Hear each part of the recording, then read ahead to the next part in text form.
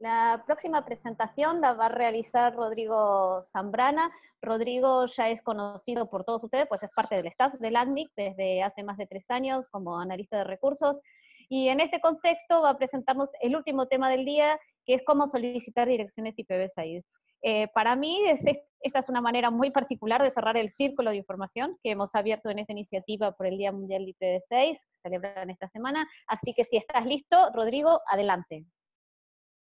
Bien, perfecto. Eh, la idea es contarle brevemente eh, cómo llevar a cabo el proceso de solicitud de recursos. Entonces, primero que nada, vamos a, por el primer paso, que es registrar el usuario para poder acceder a, nuestro sistema. Eh, no sé si todos tienen usuario, pero bueno, la idea es esta, crear el usuario. Eh, una vez que ya lo tienen, eh, en esta pantalla lo pueden obtener, como ven ahí. Una vez que ya crean el usuario, bueno, van a recibir una confirmación vía mail para poder confirmar ese registro y luego ya tendrán acceso al sistema. Esta es la pantalla inicial del sistema de solicitudes. Con el usuario que obtuvieron en el paso anterior, acceden con el usuario y la clave, y le va a, mostrar en sí dos formas eh, de registrar la organización. Una es seleccionando el desplegable, bien, este desplegable que ven acá, o si no, también tienen la opción de registrar desde cero la organización que sería desde este menú.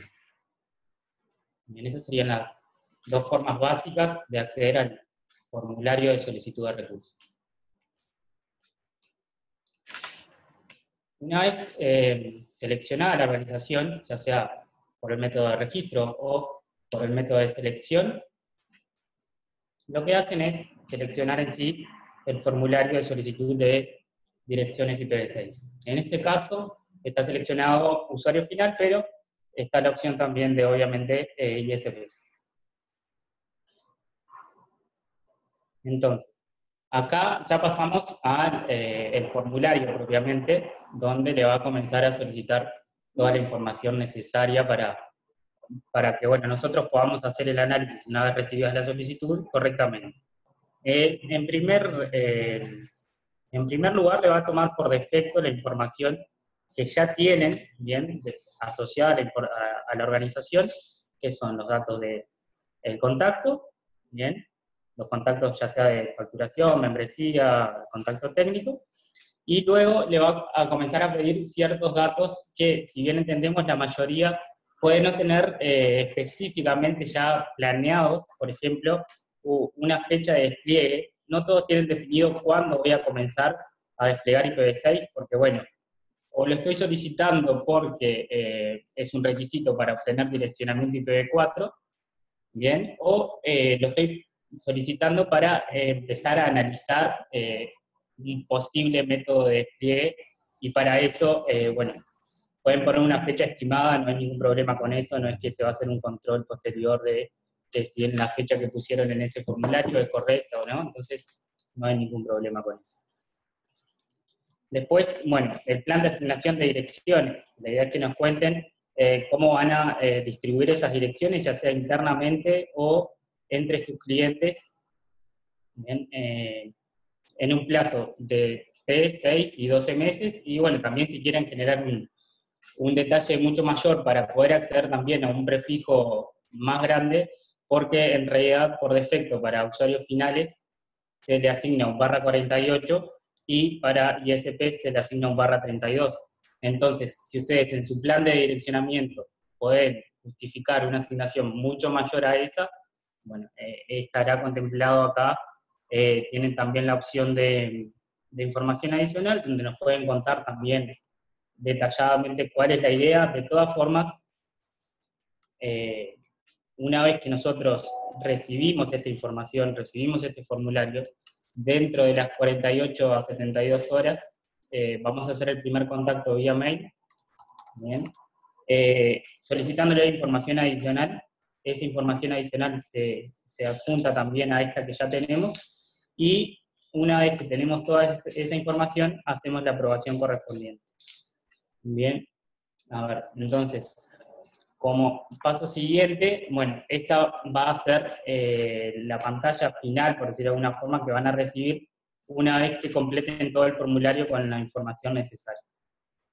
Eh, requisitos para poder recibir una asignación. Bueno, si ya tienen direcciones IPv4 asignadas, no van a tener eh, ninguna otra limitante, no van a tener que enviar mucha información adicional más que la que está en el formulario, porque como bueno, forma de incentivar el despliegue de este protocolo, eh, todas aquellas organizaciones que ya tienen direccionamiento IPv4 van a recibir también una asignación de direcciones IPv6.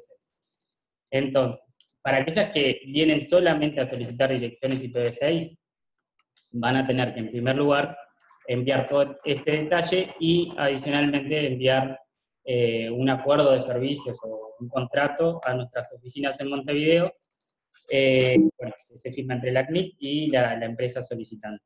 Bien, ese sería como el paso que puede llevar un poco más de tiempo porque el análisis en sí es bastante rápido.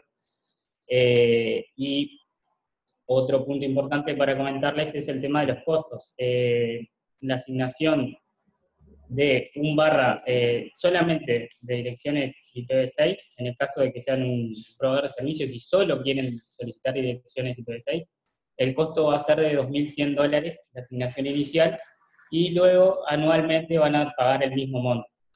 Bien, pero si eh, asociado a esta solicitud de, IPv6 también se solicita un, bloque IPv4, bueno, se unifica el costo como forma de, o sea, en sí el, el costo de, de, la asignación del bloque IPv6 estaría incluido dentro del costo de la asignación de IPv4, y serían solamente mil dólares eh, la asignación inicial y luego mil dólares más la renovación anual eh, como forma de mantener el uso, el derecho de uso de este recurso. esta sería la información básica. Uno otro de los puntos importantes que deberían tener en cuenta es que para poder recibir una asignación de nuestra parte van a tener que contar con algún certificado que, que nos permita comprobar que están legalmente establecidos en la región, emitido por cualquier ente fiscal, donde diga bueno, el nombre de la empresa, eh, el rubro en el que está inscrito, etc. Esos serían los dos puntos indispensables.